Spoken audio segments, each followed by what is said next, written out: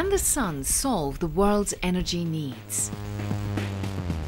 New solar technologies using ancient principles promise to reduce dependence on fossil fuels. It's clean and it's endless. We make a large collector concentrating energy of the sun by up to 500 times. What's holding things back? If you wanted to generate all the world's electricity, you could do it with less than 1% of the area of the world's desert.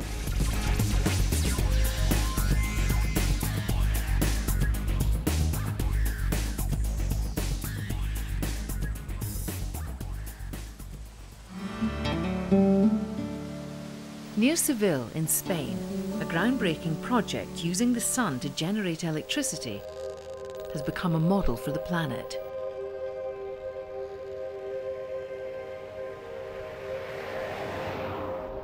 It's the first commercial operation of solar tower technology in the world.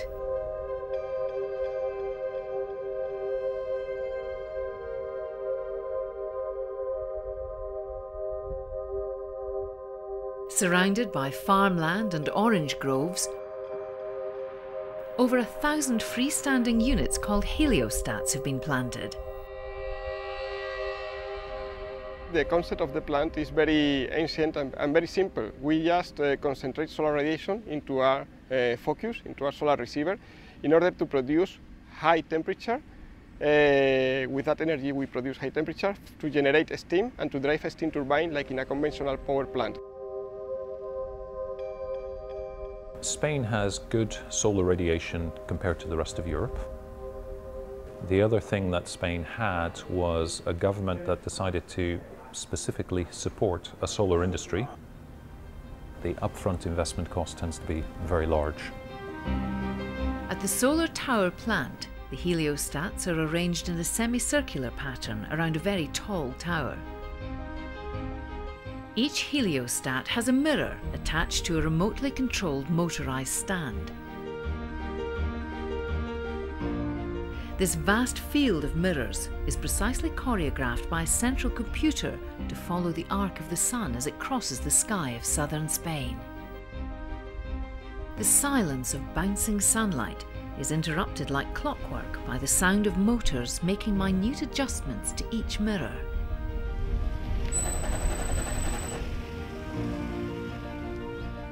The reflected solar rays are targeted to a spot at the top of the tower. Behind this intense hotspot, water is being boiled and steam is being generated. Temperatures up to 2000 degrees can be reached. We are uh, operating in temperatures about 450, 500 degrees. The steam drives a turbine. The turbine produces electricity. The electricity is sold to the national grid.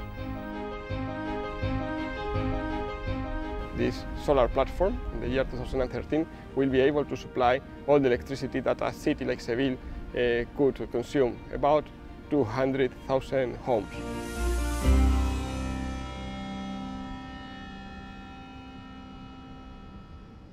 The only difference between a concentrating solar power plant and a nuclear plant or, or a coal-fired plant is you get the heat from the sun instead of getting it from either burning coal or, or um, from nuclear reaction. While sunlight is intermittent, technologies exist to store heat generated during the day. One technology uses tanks of molten salts. Now the great advantage of concentrating solar power is that because it works by creating heat, it's relatively cheap and easy to store heat. The goal is to have a solar plant that generates electricity 24 hours a day. The immediate thing that hits you when you visit a, a solar plant is the size and scale. They, they're huge. Huge towers in the case of tower technology. The, the market and also the investor community still sees it as high risk. It's still evolving and there are changes happening to the efficiency and effectiveness of the technology year in, year out. Is this visionary plan too good to be true? It's unlikely to have been built and may not survive without government subsidies. What you find with renewable technologies and solar is no different, is that the upfront investment cost tends to be very large. Uh, solar in particular, because most of your money is going into the building of the plant. There are no fuel costs once it's up and running.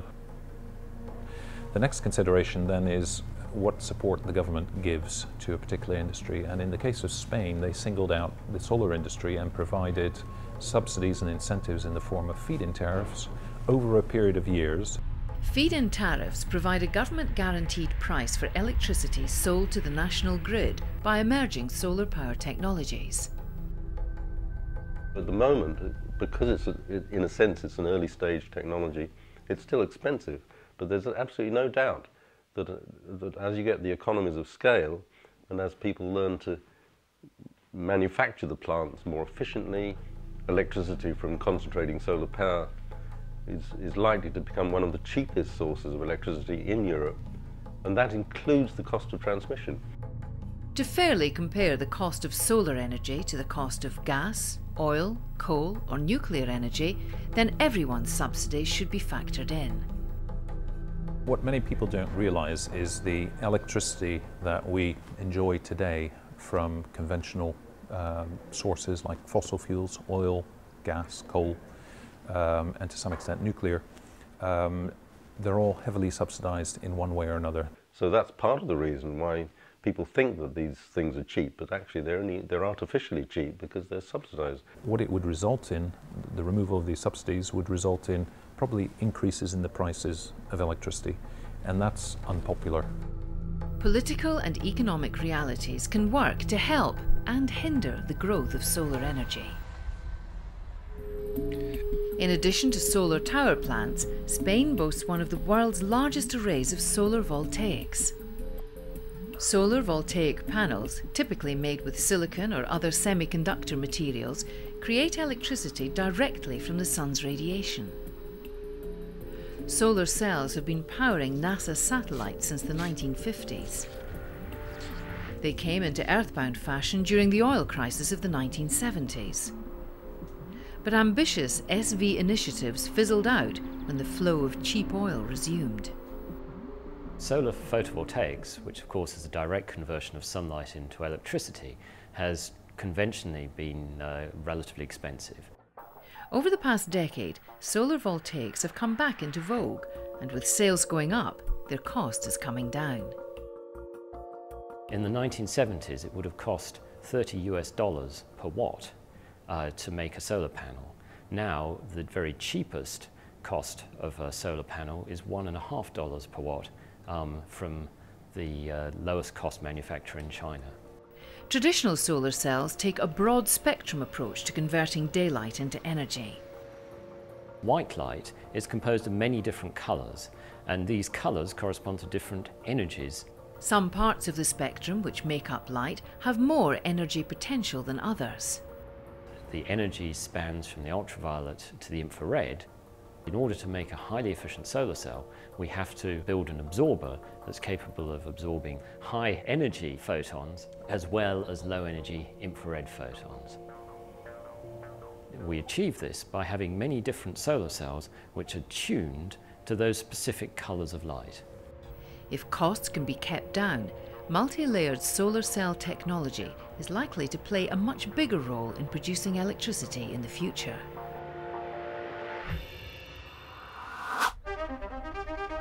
It's been estimated that enough solar energy hits Earth in one hour to provide all the world's electricity needs for a year. It's calculations like this which have inspired some renewable energy advocates to think big. Desertec is a bold plan to deploy solar energy technology in the world's deserts with the potential of supplying all of the world's electricity needs. Desertec is a concept and the basic idea is that in desert regions like the Sahara there's totally colossal amounts of energy falling from the sky as sunlight and coupled with which there's now technology for capturing it cost effectively and converting it into electricity Solar towers are only one of many concentrated solar power technologies, or CSP. Parabolic troughs use curved mirrors to focus sunlight on a tube filled with oil. The sun's energy is concentrated almost a hundredfold. The oil in the tube is heated up to 500 degrees. The hot oil boils water which generates steam to drive a turbine which produces electricity. CSP plants have been operating in America for decades. In the case of the US plants which were built in the 1980s, they have paid off their loans and currently they produce electricity at around 3 cents US cents per kilowatt, which is among the cheapest uh, form of electricity in the world today.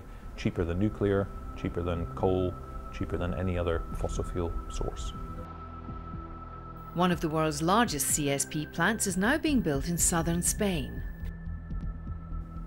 For anyone who's concerned about the rollout of clean energy that we so urgently need, it's a nice sort of neat, essentially simple technology and it works. Desertec is now a charitable foundation.